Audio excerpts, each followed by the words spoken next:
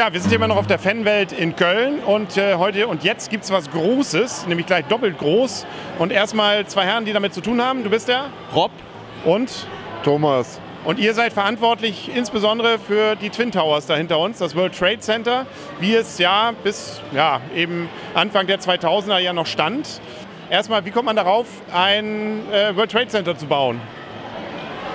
Ja gut, ich selber war im April 2001 noch da, als kleiner Junge mit elf Jahren. Und das hat einen so fasziniert, diese Wolkenkratzer, 400 Meter, davon gleich zwei. Das war halt sehr prägendes Erlebnis mit elf Jahren, dass man dort halt äh, zwei dieser Türme sehen konnte. Das, diese Stadt New York wird von diesen Türmen halt symbolisiert.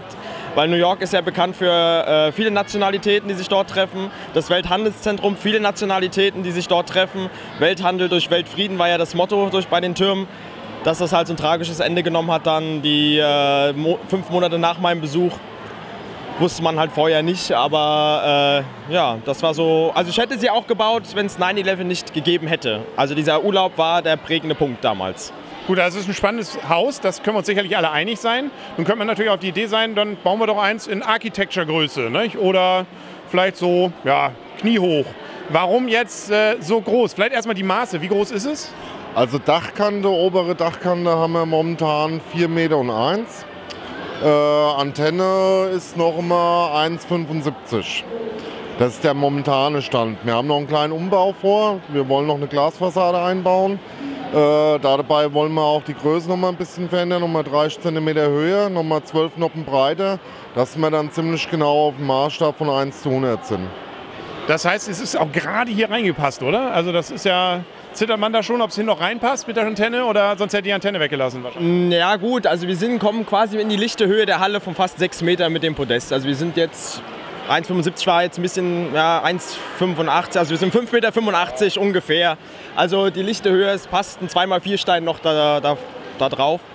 Äh, ja, es war sehr wackelig dann der Moment, wo dann die Antenne, wir haben sie vorher mal Probe gebaut, da haben wir gedacht, oh je, aber es hat mit dem Rollgerüst, wir haben das mit dem Rollgerüst aufgebaut, ähm, mit, auf 4 Meter, 4,50 Meter, hat eigentlich relativ einfach funktioniert. Die Beleuchtung funktioniert leider nicht auf der Antenne, normalerweise blinkt sie da oben noch. Hat leider nicht funktioniert, die Kontakte. Wir hoffen, dass es nächste Woche in Stuttgart dann funktioniert. Wie viele Teile sind das? Pro Turm haben wir momentan 65.000 Teile verbaut. Und nach unserem Umbau sollten es dann gut 100.000 pro Turm sein. Also rein nur die Türme blanko, ohne irgendwas drumherum halt. Ja. 100.000, da muss man auch erstmal rankommen. Wo habt ihr die Steine her?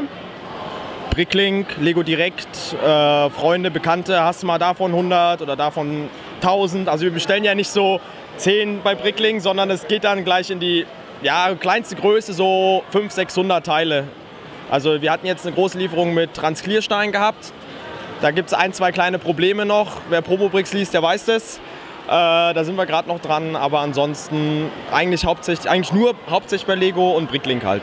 Und das erklärt vielleicht auch, dass einige Steine manchmal ausverkauft sind, wenn da so, solche Massen hier natürlich auch äh, dann in solche Gebäude gehen. Jetzt äh, erste Frage sozusagen, wenn ich jetzt hier stehe, muss ich Angst haben? Also ein Windhauch und das Ding kippt um oder wie trägt sich das? Ist es geklebt? Nein, geklebt ist äh, Gott sei Dank gar nichts. Also haben wir schon großen Wert drauf gelegt halt. Ja. Wir haben natürlich, bevor wir die erste Ausstellung gemacht haben, erstmal einen Probeaufbau gemacht äh, weil wir mussten ja selber nicht, wie sich das genau verhält. Äh, in den Türmen selber ist eigentlich hohl, ist nur mit Technikkreuzen verspannt. Wir haben unten einen recht massiven Kern drin, der aber nur so bis in unseren ersten Block reinragt, was die Außenwände abträgt halt.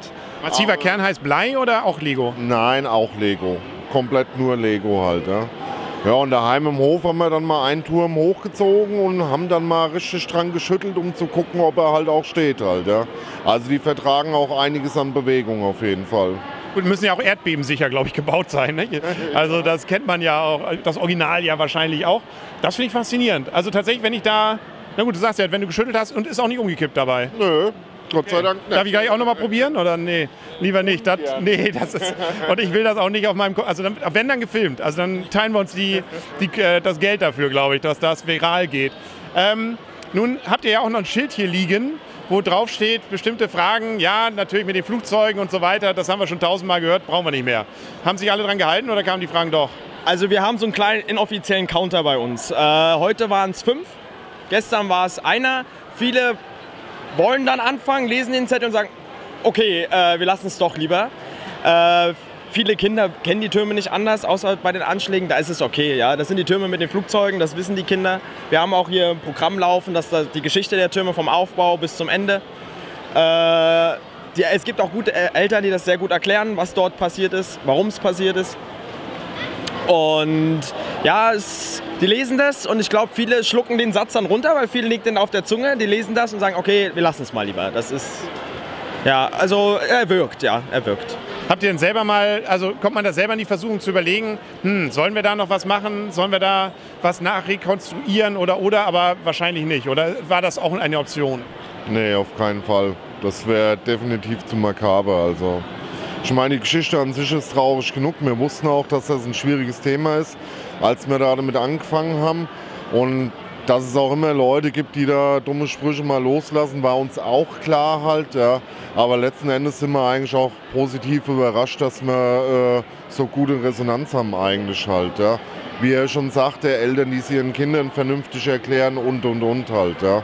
Haben auch viele Leute jetzt schon kennengelernt, die tatsächlich die Anschläge mitgekriegt haben äh, da haben wir schon Geschichten gehört, wo wir selber schlucken mussten halt, ja.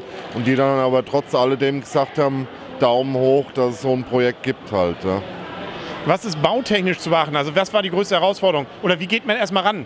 Fängt ihr einfach unten an, bauen, wir wollen jetzt mal fünf Meter erreichen und jetzt schön gib ihm grau auf grau und äh, wir ziehen mal hoch oder wie seid ihr rangegangen? Statiker vorher gefragt oder ähm, ja, wie ging es los? Also die Überlegung war ja erst, äh, wie kriegt man das stabil? Ja, wir haben mit einigen guten Freunden drüber gesprochen, die uns dann auch unten diese Dreizacksäulen, das war so das ich selber habe nicht so das große Teileverständnis. Da hat uns ein sehr guter Freund dabei geholfen. Der hat zuerst ein LDD vordesignt, dann haben wir sie Probe gebaut, haben Belastungstests damit durchgeführt, haben quasi mal so eine Ecke gebaut, haben äh, so Steine, also so Pflastersteine mal draufgelegt, ob die überhaupt die Snot-Technik das hält oder nicht auseinanderspringt. Ähm, also man könnte in der Theorie unten diese Säulen einige wegnehmen und die Hauptlast trägt die Ecken. Ja, also die sind eigentlich schon sehr massiv gebaut. Also unsere vier Säulen könnte man eigentlich problemlos aus jeder Seite rausnehmen und die würden immer noch top stehen. Also. War dem von vornherein ganz klar, das müssen fünf Meter werden oder? Also ich hatte das nach meinem Urlaub im April 2001 mal als kleiner Junge so ungefähr so hoch gebaut, weil man fasziniert war dann. Äh, 2010 hatte ich dann die nächste Version meiner Ausbildung, die war zwei Meter hoch. Und da war ich damals auf dem 1000 Steineland in Berlin. Und da haben, die, wurden die aufgebaut und da standen neben andere andere Hochhäuser. Da ich, oh, mh, hm, ja, nee, wirkt nicht so. Und da hatte ich schon damals die Idee, okay, die müssen etwas größer werden. Und dann habe ich gesagt, ja, was passt? Ja, 1 zu 100 wäre ein guter Maßstab. Und dann kommen halt die 4 Meter dann halt raus. Also man baut halt einfach los, diese wenigen Details, die diese Türme prägend machen, wie diese Abschnitte oder das Dach oder die Säulen unten, die müssen vorhanden sein. Dass man das Viele erkennen die, ähm, besonders diese Dreizacksäulen sind ja heute noch das Symbol vom World Trade Center, von dem neuen auch, von dem Logo auf der offiziellen Seite dort.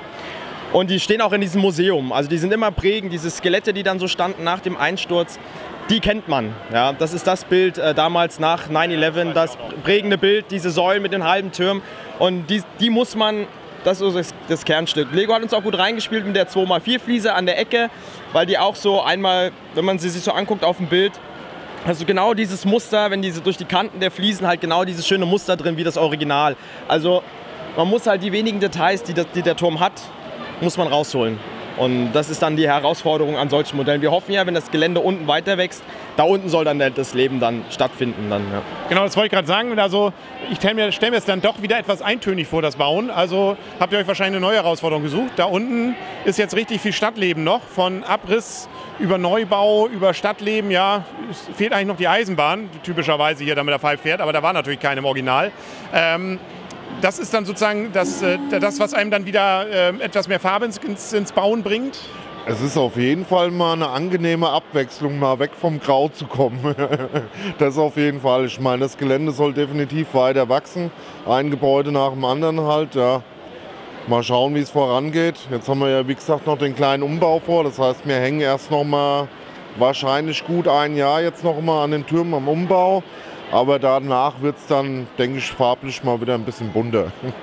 Was macht man da mit dem Turm? Also wo steht der bei euch sonst? Also nicht jede Altbauwohnung hat fünf Meter, oder? Nee, leider nicht. Also die Türme sind in zehn Segmente unterteilt. Die Antenne ist jetzt abzüglich, die ist Nummer zwei. Das sind immer so 50 Zentimeter Blöcke, ungefähr 45, 50 Zentimeter. Und die werden dann alle eingeplistert in Frischhaltefolie, wie du es ja in deinem Video mal gezeigt hast mit den Modellen. Und die werden dann in eine Europalette geschoben, die ist 1,80 hoch, zugenagelt, weg und fertig. Es geht halt darum, dass man halt diesen Glanzeffekt dieser grauen Steine erhalten lässt. Wenn man das einfach nur so reinstellt, könnten sie verschrammen und dann geht dieses, der neue Glanz halt verloren. Wann kann man das gute Teil wiedersehen? Ihr sagtet gerade eben schon, nächste Woche schon wieder, oder? Genau, wir sind direkt nächste Woche in Stuttgart zu sehen. Ja, und danach, also falls ihr es bis dahin nicht online habt, habt ihr schon weitere Orte, wo es kommt? Also wir hoffen, wir sind mit dem Stefan Sander dran, also den hatte ich ähm, dieses Jahr in Scareback angesprochen, weil wir würden sie gerne dort ausstellen in Scareback. Das Problem, der Umbau ist jetzt da, wir warten noch auf eine Menge Scheiben. Transclear halt einmal zwei, das sind 50.000 Stück, a 16.000 Fenster, immer drei Stück aufeinander. Äh, wir hoffen, dass wir in Dänemark mit der Verbreitung und Erhöhung fertig sind und dass wir dort ausstellen können. Weil, wie gesagt, die haben da auch noch ein, zwei Kniffe wegen der Fläche. Die haben ja so eine maßgebliche Fläche für die Tische. Da sind wir dran, weil die einzige große Fläche, die sie ja dort hatten, hat, hat man mir ja gesagt, ist ja vorne direkt am Shop. Das ist dann halt durch den Schwingboden ein bisschen nicht so angenehm. Also wenn dann alle Leute dann einkaufen gehen und das wackelt da, dann hast du da den, also die Türme schwanken auch. Wenn man sie eine Weile anguckt, sieht man so, denkt man selber, man bildet sich so ein, aber die bewegen sich. Also, ja, hast recht, tatsächlich. Also die bewegen sich. Also teilweise haben wir die, die Antennenspitze kreist fast ein Zentimeter rum, wenn's, weil ja direkte Lüftung daneben dran ist. Wir haben schon gedacht, hm, okay, aber sie halten, sie stehen und ja, genau. Beruhigend. Ja, äh, die Stabilität vom Wolkenkratzer kommt aus dem Fundament. Deshalb der damals der erste Anschlag 93 hat man versucht, sie am Fundament zu ergreifen und Wolkenkratzer zerstört man nicht an ihrem Fundament, sondern dann, wenn man sie in ihrer Fassade angreift. Ne? Wie schwer ist das gute Teil denn? Äh, circa 100 Kilo pro Turm. Ja, also 200 Kilo. Ja. Ja, da hätte ich fast gedacht, es wäre noch mehr. Also das geht ja fast noch. Ja, aber trotzdem, naja gut, äh, einfach mit zwei Händen kriegt man es nicht mehr hin. Das stimmt schon. Ja, cooles Teil. Habt ihr noch neue Pläne, gute Erhöhung jetzt? Ne? Das ist dann das, was sozusagen jetzt als nächstes ansteht. Gibt es auch noch ganz andere Ideen oder ist das erstmal euer Projekt und das wird auch so weiter fortgeführt? Wie gesagt, äh, die, da die Gebäude ja außenrum auch noch entstehen sollen, da werden wir die nächsten Jahre schon noch beschäftigt sein halt. Ja. Wir wollen uns ja auch immer so ein bisschen an den Zeitplan halten, wie es im Realen halt entstanden ist. Dementsprechend sollen auch die Gebäude die nächsten entstehen. Man weiß, bei der Masse an Teilen ist es auch nicht einfach. Das dauert auch seit Zeit, bis man alles beisammen hat. Arbeiten gehen wir ja irgendwann auch noch, so ein bisschen. Also da werden wir schon noch ein paar Jahre dran beschäftigt sein, auf jeden Fall praktisch eine Lebensaufgabe. Und ähm, hat New York selber schon mal angefragt? Also ich wäre sehr interessant, das auch mal im Museum dort stehen zu haben. Äh, wir haben E-Mail-Kontakt mit dem 9-11 Memorial Museum. Dort bin ich auch im Dezember und halte einen Vortrag über die ganze Geschichte. Ich bin mal gespannt, was sie dazu sagen. Ähm, ja, wir haben Kontakt, wir schicken mal Bilder hin und her. Wir haben zum Beispiel die Info über die Frequenz der Beleuchtung, hat man uns, mit der, hat man uns weitergeleitet an die Port Authority New York und New Jersey, die diese Türme ver verwaltet hat. Da gab es ein, zwei Rückantworten, nicht so viel. Dafür haben sie uns die kompletten technischen Pläne der Fensterputzmaschine geschickt. Die ist jetzt noch nicht drauf, die kommt hoffentlich in zwei Jahren drauf. Die soll sich dann auch bewegen mit NXT, dass sie quasi an einem Messetag einmal eine Fassade sauber gemacht hat. Ähm, das ist so der Plan und da haben sie uns die kompletten technischen Zeichnungen geschickt, weil die Maschine, die da oben die Fenster gereinigt hat, kam aus Deutschland zum Beispiel. Weil wir haben die deutsche Firma leider nicht ausfindig machen können, aber die technischen Zeichnungen und die Funktionen, SPS-Steuerung, die haben wir geschickt gekriegt. Ist okay, viele Sachen dürfen sie nicht rausrücken, viele Sachen sind auch zerstört gegangen. Die haben erst dieses Jahr Pläne vom Turm 2, die waren komplett verschollen und da hatte eine Frau der Mann ist verstorben, der war Strukturarchitekt dort, der hat die weggeschmissen. Und irgendwann kommt ein Müllmann, macht, guckt in die Mülltonne rein sagt, das sind die Originalpläne von dem Turm 2 und hat sie halt dem Museum gespendet. Also ab und zu taucht immer noch was auf, die New Yorker haben das nicht vergessen. Also die sind eigentlich immer noch für die im Herzen dort. Also man merkt es auch, wenn man vor Ort ist. Also ein, zwei Tage vorher, wenn der 9-11 sich nähert, dann machen sie die Lichter schon an und dann siehst du, dass New York sich doch umdreht und dann doch mal die Sache Revue passieren lässt. Ja. Also es ist immer noch relevant dort, also ist nicht weg. Ich glaube, das wird auch ein Ereignis sein, das wird auch in Amerika und auf der ganzen Welt noch lange, lange im Gedächtnis bleiben. Also auch ich habe, es gibt viele, die sagen, was hast du an dem Tag gemacht oder was hast du an dem Moment gemacht, ähm, was immer ein Zeichen dafür ist, dass es etwas ist, was einen auch wirklich bewegt hat. Gut, vielen Dank. Also ein spannendes Modell. Ähm, und dann, ja, sind wir gespannt, ob es in Scareback das dann zu sehen gibt. Und äh, insbesondere bin ich dann gespannt, wie dann ja, die weitere Erweiterung dann aussieht. Also wird es uns dann ja erhalten bleiben. In zwei Jahren hoffen wir, dass das Gelände außenrum fertig ist und dass die Baustelle dann Richtung Hudson River, Battery Park City, also World Financial Center dann wandert. Und das ist dann so der Plan, alle zwei Jahre dann, dass man nicht immer dasselbe ausstellt, sondern dass es immer weiter wächst. Okay. Ja, und irgendwann müssen ja riesige Trucks dann durch Deutschland wiefen. Aber gut, das ist dann nicht. Ähm, das ist dann der Problem der Ausstellung. Das Problem haben alle Lego-Fans. Das ist, das nur in anderen Dimensionen vielleicht, aber das äh, kennen wir alle. Super, vielen Dank und dann viel Erfolg noch.